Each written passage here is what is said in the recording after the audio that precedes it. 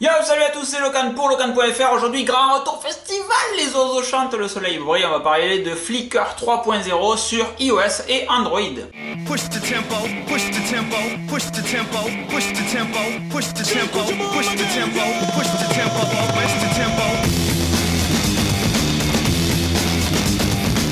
Alors bien entendu, vous attendez pas à ce que je vous fasse une démonstration sur Android, tout simplement parce qu'il n'y a pas d'Android dans cette maison, c'est banni. Il ne faut que des trucs avec des pommes dessus. La peptine, comme disait Jean-Claude Van c'est quand même quelque chose qui est super bien. Alors Flickr 3.0 arrive sur iPhone, se met à jour pour iOS 7, l'interface est totalement revue dans des tons sombres. Enfin, parce qu'il y en a plein le cul de toutes ces applications, et surtout d'iOS 7 qui est sur un ton blanc, c'est pour ça que j'ai pris un iPhone blanc d'ailleurs, avant j'avais un noir. Euh, enfin, sur du ton sombre pour faire euh, rehausser toutes les couleurs de vos photos, de vos plus ou de vos plus moches photos, ça les rendra un petit peu moins pourris. Et, euh, et puis voilà, donc l'application a gagné énormément en vitesse. elle est bien plus rapide que le Flickr d'avant, elle est plus rapide qu'Instagram, qui est une véritable bouse depuis, depuis ces dernières mises à jour.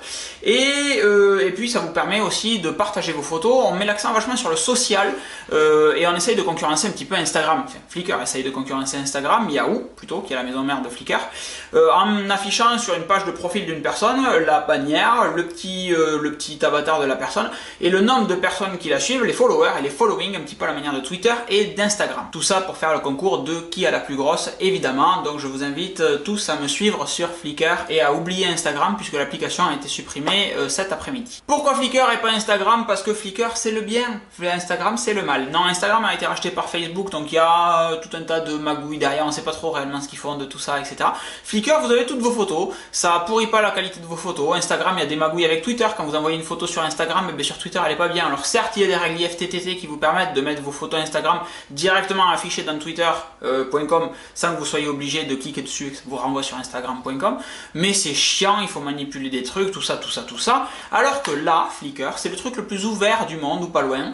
Et euh, ben, ça fonctionne bien. L'interface est super classe. La nouvelle interface euh, web autant que iPhone ou Android, je la trouve vraiment fabuleuse.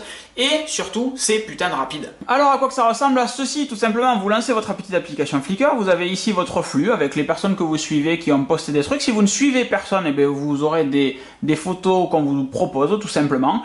Euh, et puis voilà, donc vous avez votre flux ici. Vous pouvez par exemple cliquer sur euh, notre petit Tristan national qui fait de la moto, hop, et vous avez ici le petit i qui va vous afficher toutes les informations du boîtier avec lequel ça a été pris, les données EXIF, euh, la, la, focale, euh, en quel mode ça a été choisi, tout, tout, tout, vous avez tout ici. Vous avez les mots-clés, si vous voulez aller sur euh, moto par exemple, et vous touchez moto, et vous aurez euh, normalement toutes les photos de Flickr, voilà, avec le hashtag moto, dont celle-là qui est particulièrement sympa, avec 1m80 de jambes. Par la suite, une fois que vous êtes sur une photo, vous pouvez éventuellement la mettre en favori, commenter cette photo, hop, regardez la rapidité encore une fois de l'interface, euh, vous pouvez la partager directement avec les outils intégrés de d'iOS, euh, copier l'URL, enregistrer la photo, ça c'est si la personne le permet, et puis et puis voilà, et ça c'est cool, vous revenez en haut, vous pouvez chercher ici dans Flickr euh, un type de photo, etc. Vous avez ici la fonction Explore, alors c'est les meilleures photos, les photos les plus votées, les plus vues de Flickr, alors là à chaque fois on en prend plein les yeux, il y a de très jolies photos, j'ai eu la chance, la chance d'y être quelques fois. Vous avez sur la droite votre profil à vous, donc avec votre bannière, vos petits avatars. Comme vous voyez ici, hop, 1440 followers, 35 following. C'est la petite course qui est la plus grosse, c'est ce que je vous disais. Vous avez ici toutes vos photos. Vous allez avoir les photos en public, donc sous forme de flux en fait, avec les commentaires, etc. Vous avez maintenant les vidéos, cette sale tronche au matin au réveil, c'est une vidéo test de ce matin. Vous avez donc toutes vos photos. Si on clique par exemple ici, poum, on a euh, ben, la petite photo. On a toujours pareil, hop, pardon ici, si on clique sur la photo, pardon, on avait le petit i avec toutes les informations de qui, qu'est-ce qui a pris la photo, etc. Donc ici un iPhone 5S, etc. Où c'est que ça a été pris, machin, tout ça, tout ça. Le Creative Commons c'est super important et vous arrêtez de me faire des trucs dégueulasses à vous foutre à mettre des copyrights partout sur vos photos prises à l'iPhone. Euh, vous mettez des Creative Commons les gens. Si vous connaissez pas, vous vous renseignez un petit peu dessus. Euh, les albums, donc tous vos albums ici qui sont classés et bien classés, ça c'est cool. Et les groupes dans lesquels vous êtes et dans lesquels vous partagez éventuellement des photos. Ça c'est super bien. Ensuite, vous avez ici la partie qui va vous permettre de prendre une photo. Vous touchez dessus, poum, et vous allez shooter une photo avec madame qui est en train de bouquiner ici derrière.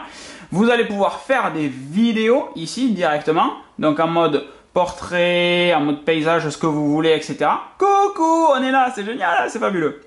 Vous avez donc ceci. Vous allez pouvoir appliquer à la volée des filtres pour voir ce que ça donne euh, quand vous, si vous faites une vidéo comme ceci. Tout ça, ah pardon, vous, vous y voyez que dalle du coup.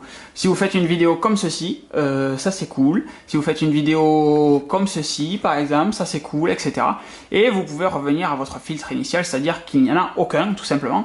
Euh, ça marche pour les photos. Et puis vous allez pouvoir naviguer dans vos photos, ici aussi, directement. Et ça, c'est cool. La petite astuce du chef, quand vous êtes ici, vous restez appuyé longtemps là, pouf, et au Magie, vous naviguez directement dans les photos que vous voulez importer. Ça, c'est pour gagner du temps. Alors pour ceux qui connaissent pas le service Flickr, c'est Yahoo, il vous offre un Tera de stockage de photos. Donc il y a euh, une option auto-upload directement dans Flickr, c'est-à-dire que vous, dès que vous prenez une photo, elle va être, elle peut, elle peut être envoyée directement sur Flickr. Euh, en privé, en public, c'est vous qui choisissez. Euh, un petit peu comme fait Dropbox, comme fait Google Drive, etc. Toutes les applications le font maintenant, du moment qu'elles ont accès à vos photos. Mais là, vous avez un Tera de stockage, c'est quand même assez fabuleux. Personnellement, j'ai pas vu l'intérêt. Je me doute que pour certaines personnes, il doit y en avoir un. C'est bien de préciser qu'il y a un Tera parce qu'un service de stockage de photos avec un Tera gratos, à ce jour, ça ne court pas les rues. Et puis bien entendu la qualité Flickr, c'est grâce à Flickr que moi j'ai appris à faire de la photo. J'ai pas la prétention de savoir en faire maintenant, mais que j'ai grimpé un petit peu à niveau, euh, du niveau de profond débile à gérer mode automatique au mec qui débraille tout le temps pour toutes ses photos. C'est vachement utile. Naviguer dans les groupes, naviguer par recherche de mots-clés. Si vous prévoyez d'aller un jour en voyage, j'en sais rien, comme au Japon par exemple, comme moi j'y vais en septembre, euh, ben, recherchez des photos de certaines villes au Japon et quand vous y serez, vous vous direz ah ouais putain c'est vrai j'ai vu ça, cette photo elle est super cool, j'essaye de faire pareil. Cherchez des photos de votre ville, cherchez des photos de macro pour apprendre la macro, cherchez des photos de portraits et essayez de reproduire les effets des gens et comme ça vous comprendrez la photographie, c'est génial. Merci à vous, merci Flickr, merci à vous d'avoir écouté de m'avoir écouté déblatérer toutes ces conneries. La mise à jour euh, Flickr 3.0 est donc évidemment gratuite sur euh, iPhone et Android. Je vous encourage à tester, à essayer et à oublier cette connerie d'Instagram. Et franchement, euh, là vous pouvez faire toutes les photos de la vraie photo, de la vidéo et partager vos trucs après sur Twitter, sur Facebook comme vous voulez. Mais au moins vous centralisez vos photos sur une seule et unique plateforme de qualité sur laquelle vous pouvez récupérer toutes vos photos. Parce que est-ce que vous pouvez récupérer toutes vos photos d'Instagram? Non monsieur, vous ne pouvez pas. Alors que sur Flickr, vous pouvez. Vous cliquez dessus, vous téléchargez la photo et hop, vous avez la résolution native parfaitement. Je fais pas plus long, c'était Locan pour Locan.fr. Passez une bonne fin de journée, il fait soleil, je vais aller faire du vélo et je vous dis à très vite. Ciao.